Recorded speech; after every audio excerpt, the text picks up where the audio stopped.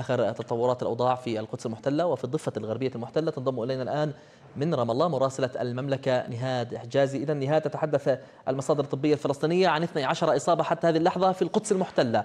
فقط بالتالي آخر التطورات في القدس وفي الضفة أيضا.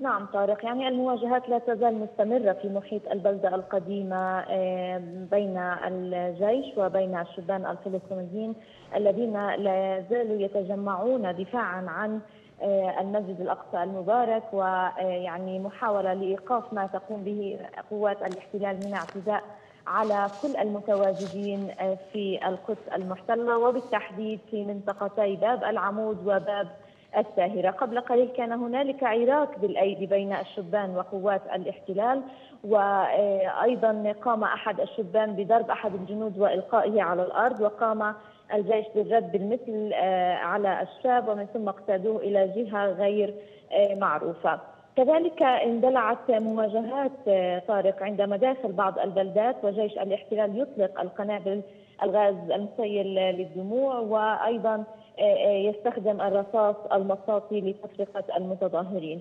في باب الساهرة هنالك كما قلت مواجهات بين الجيش والشبان وإصابات بالاختناق جراء استنشاق الغاز المسيل للدموع.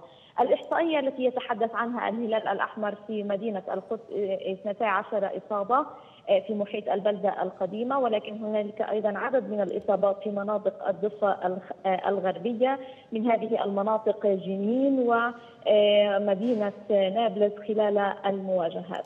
الشيخ عكرمة صبري طارق خطيب المسجد الأقصى المبارك دعا مجالس العائلات في القدس لحشد طاقاتها وتشكيل لجان شبابية للدفاع عن المدينة والبقاء على استعداد لأي اعتداء غادر من قبل الاحتلال وهنالك أيضا نداء من قبل الشبان الخروج يعني للشبان الباقين للتوجه لمحيط البلدة القديمة لمواجهة هذا الاعتداء.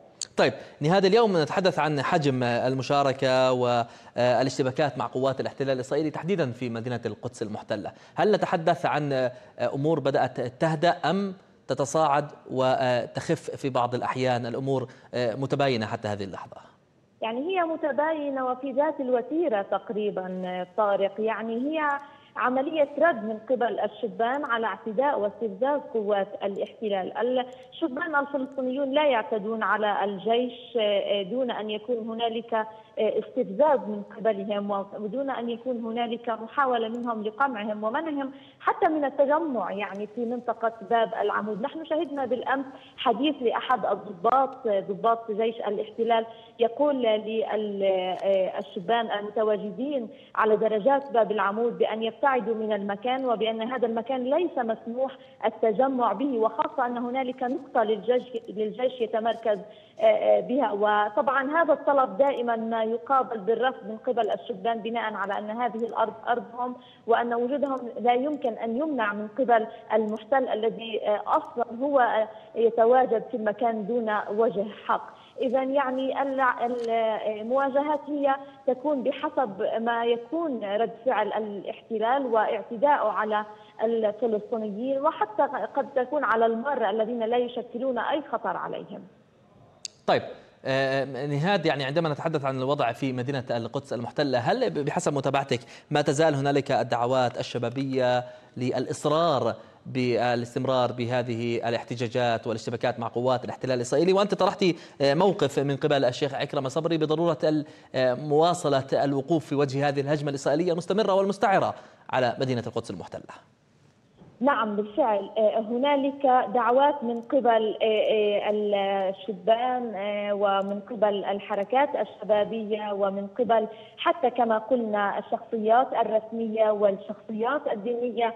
دعت ليس فقط الشبان بل العائلات المقدسية للتصدي لما يقوم به الاحتلال الإسرائيلي، هنالك من يؤكد من المقدسيين بأن لولا وقوفهم بهذا الشكل لضاعت القدس ويعني تم الاعتداء بسهولة على المسجد الأقصى ولكن يعني لا يمكن للمقدسيين بحسب ما يؤكدون بأن يتركوا المسجد الأقصى وحيدا، أيضا نحن نشهد طارق اعتداء على حراس المسجد الأقصى المبارك وأيضا محاولة لإبعاد المرابطين والمتواجدين داخل المسجد الأقصى.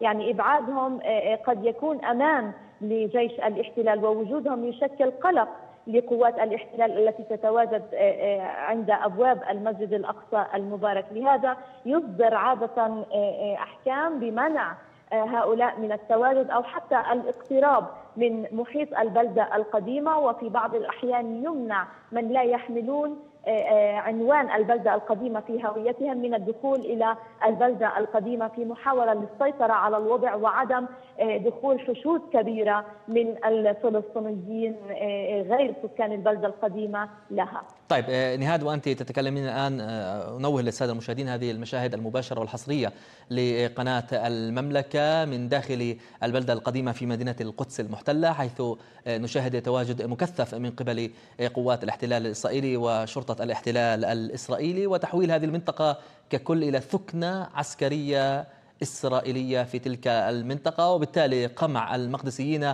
من ممارسة أبسط حقوقهم الدينية في هذا الشهر الفضيل ومن الصلاة في أقدس آه، البقاع في فلسطين المحتلة في منطقة آه، المسجد الأقصى المبارك والحرم القدسي الشريف. وتابعنا اليوم خلال الساعات الماضية مشاهدين عمليات القمع والتنكيل الإسرائيلية بحق آه، المصلين في تلك المنطقة ومنعهم من أداء أو إكمال حتى صلاة التراويح في تلك المنطقة. إذا نهاد هذه هي سياسة إسرائيلية مستمرة تصاعدت خلال الأيام آه، آه، الماضية. ولكن لنضع المشاهدين بصورة ما يحدث تحديدا آه، نهاد في شهر رمضان نعم. المبارك. نعم. ما الذي اختلف في اعتداءات الاحتلال الإسرائيلي؟ وهي اعتداءات مستمرة منذ عشرات السنوات وليس فقط هذا اليوم ويتصاعد بين فترة وأخرى. ولكن ما الذي حدث بالتحديد في شهر رمضان مما أدى إلى هذه الموجة الاحتجاجية وهذه الاشتباكات المستمرة كل ليلة؟ نعم.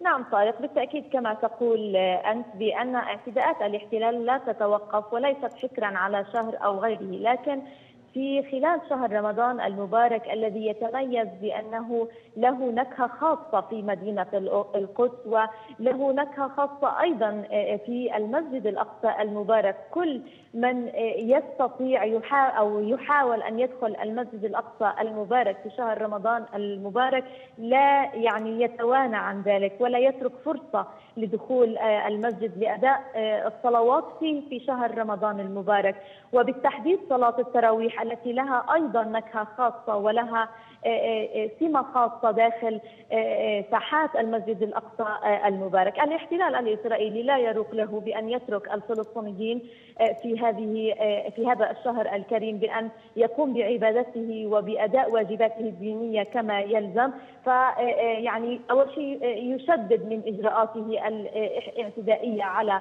الفلسطينيين، يقوم بمنع يعني العديد من المتوجهين للمسجد الأقصى المبارك. وبالتحديد يوم الجمعة يغلق جميع الحواجز وخاصة حاجز قلنديا الذي يتوجه من خلاله سكان الضفة الغربية لدخول القدس. يغلق ويمنعهم من الوصول للمدينة المقدسة. وأيضا ما زاد الطين بله كما يقولون اعتداءات المستوطنين في الفترة الأخيرة الذين خرجوا بمسيرات استفزازية حاولوا من خلالها الاعتداء على المقدسيين واستفزازهم وإطلاق الرصاص عليهم والاعتداء على منازلهم وعلى أطفالهم ونسائهم وهم داخل المنازل، هذا المشهد لا يمكن أن يسقط عليه المقدسيون ولذلك يردون بشكل واضح وبشكل شرس على اعتداءات الاحتلال. أنوه طارق بأنه قبل قليل كان هنالك نقل عن مسؤول امني اسرائيلي يقول بأنه من المتوقع